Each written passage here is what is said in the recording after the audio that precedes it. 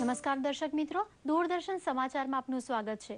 અત્યાર સુધીના સમાચારોમાં સંસદમાં વ્યાપમ કૌભાંડ તેમજ લલિત મોદીના મુદ્દે ચોથા દિવસે પણ હોબાળો યથાવત રહ્યો હતો. તેમજ લોકસભા અને રાજ્યસભા સોમવાર સુધી મોકૂફ રાખવામાં આવી હતી. ચોથા દિવસે વિદેશ મંત્રી સુષ્મા સ્વરાજ તથા ભાજપના બે મુખ્યમંત્રીઓના રાજીનામાની માંગ સાથે સંસદની કામગીરી વિપક્ષ દ્વારા ખોરવાઈ હતી.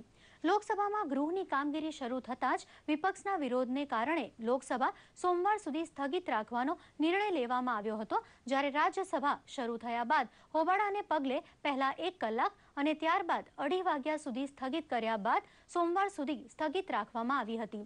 આ મુદ્દે ગૃહમંત્રી રાજનાથસિંહે જણાવ્યું હતું કે સરકાર તમામ મુદ્દે વિપક્ષ સાથે ચર્ચા કરવા તૈયાર છે, પરંતુ વિપક્ષ ચર્ચા કરવા માંગતો જ નથી. બીજેપીના સંસદ સભ્યો દ્વારા સંસદના પ્રાંગણમાં આવેલી ગાંધીજીની પ્રતિમા પાસે વિરોધ પ્રદર્શન કરાયું હતું. તેમણે કોંગ્રેસ શાસિત રાજ્યો કેરળ, ઉત્તરાખંડ અને હિમાચલ પ્રદેશના મુખ્યમંત્રીઓના ભ્રષ્ટાચાર સામે આવતા તેમના રાજીનામાની માંગણી કરી હતી. તેમજ એનડીએના સાંસદોએ વિપક્ષ સંસદની કામગીરી યોગ્ય રૂપે ચાલવા દે તેવી માંગ પણ કરી હતી.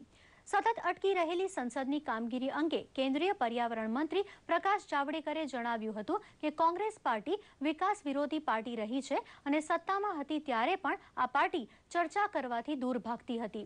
વાણિજ્ય મંત્રી નિર્મલા સીતારમણે વિપક્ષના આ વલણ અંગે બોલતા જણાવ્યું હતું કે અમે ચર્ચા કરવા તૈયાર છીએ તે ગાંધીજીની પ્રતિમાની સામે ઊભા રહીને દેશની જનતાને જણાવવા માંગીએ છીએ, પરંતુ વિપક્ષ ચર્ચા કરવા માંગતો નથી.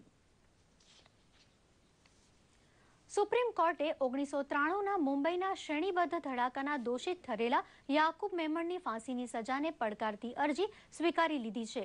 યાકુબ મેમણ તરફથી દાખલ કરવામાં આવેલી અરજીની સુનાવણી સુપ્રીમ કોર્ટની સ્પેશિયલ બેચ કરશે. આ અરજી અંગે સુપ્રીમ કોર્ટ વધુ સુનાવણી સોમવારે કરશે. ઉલ્લેખનીય છે કે ફાંસીની સજા પામેલા યાકુબ મેમણે નીચલી અદાલતના ચુકાદાને સુપ્રીમ કોર્ટમાં પડકારી ફાંસી ઉપર સ્ટે માંગ્યો હતો. ક્યુરેટિવ અરજીના નિકાલ પૂર્વે નીચલી અદાલતે સંભળાવેલી ફાંસીની સજાને યાકુબે ગેરકાયદે ગણાવી હતી.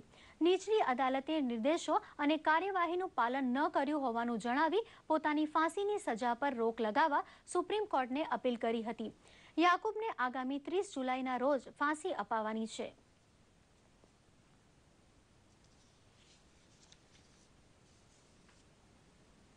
મુખ્યમંત્રી આનંદીબેન પટેલે જન ફરિયાદ નિવારણ કાર્યક્રમ સ્વાગત ઓનલાઈન દ્વારા વલસાડના ભદેલી ગામના ગ્રામજન વિનોદભાઈ પટેલને ઝીંગા ઉછેર માટે ભાડા પટ્ટે જમીન ફાળવવાનો હુકમ હાથોહાથ આપ્યો હતો અને રાજ્ય સરકારની સંવેદનશીલ અને પારદર્શી કામગીરીની અનુભૂતિ કરાવી હતી. રાજ્યના નાગરિકોની સમસ્યાઓની રજૂઆત માટે શરૂ કરેલા સ્વાગત ઓનલાઈન કાર્યક્રમ દ્વારા અત્યાર સુધીમાં રાજ્યની ત્રણ લાખ બોતેર હજાર ત્રણસો ત્રણ રજૂઆતોમાંથી ત્રાણું ટકા રજૂઆતનું સુખદ નિવારણ લાવવામાં આવ્યું છે. ઓનલાઈન કાર્યક્રમમાં વિનોદભાઈના લાંબા સમયથી પડતર રહેલા પ્રશ્નની રજૂઆત કરતા મુખ્યમંત્રી આનંદીબેને તેનું સુખદ નિરાકરણ આણ્યું હતું. તેમજ મુખ્યમંત્રીએ પોલીસ તંત્રને તાકીદ કરી હતી કે રાજ્યના નિર્દોષ નાગરિકોની ખોટી હેરાનગતિ કરતા તત્વો સામે કડક પગલાં લેવા જોઈએ. કાર્યક્રમમાં મુખ્યમંત્રીએ આઠ જેટલી વિવિધ રજૂઆતો સાંભળીને નિવારણનું માર્ગદર્શન આપ્યું હતું. આપણા દેશમાં કપાસ વિદેશી હુંડિયામણ કમાવી આપતો મહત્વનો રોકડિયો પાક છે. કપાસ ઉગાડતા રાજ્યોમાં ગુજરાત મોખરાનું સ્થાન ધરાવે છે. ગુજરાતમાં આશરે છવ્વીસ લાખ હેક્ટર વિસ્તારમાં કપાસનું વાવેતર થાય છે, પરંતુ વાતાવરણ અને ખેતીમાં આવતા ફેરફારને કારણે કપાસની પાછલી અવસ્થામાં ગુલાબી ઈયળના કારણે મોટું નુકસાન થાય છે. ગુલાબી ઈયળ જીંડવામાં અંદર પેસી પચાસ ટકા જેટલું નુકસાન કરે છે. ખાસ કરીને અમરેલી સહિત સૌરાષ્ટ્રમાં આ જીવાતનો ઉપદ્રવ વધતો જાય છે, ત્યારે તેના નિયંત્રણ માટે ખેતીવાડી અધિકારીએ જીવાત પર લીંબોળીના તેલના છંટકાવનો ઉપાય સૂચવ્યો છે. છતાં ઘણી દવાઓના ઉપયોગ બાદ પણ ઈયળ નિયંત્રિત થતી ન હોવાથી ખેડૂતો ચિંતિત છે. એવું છે એટલે કાઢવાની શરૂઆત કરી દીધી છે. હવે કોઈ આનો ઈલાજ હોય તો મને એનો કહી શકો છો તમે. આ પેલા ફૂદા આવે. પછી કોસેટમે કહે. એટલે ફૂલમાં ઈળ જાય. એટલે પીળા ફૂલમાં પીળી થાય. પછી એ ફૂલ લાલ થાય એટલે એમાં લાલ બની જાય. અને પછી ઝીંડવામાં દાખલ થાય. એટલે આ ઈળનો કોઈ ઈલાજ જ નથી બીજો કોઈ.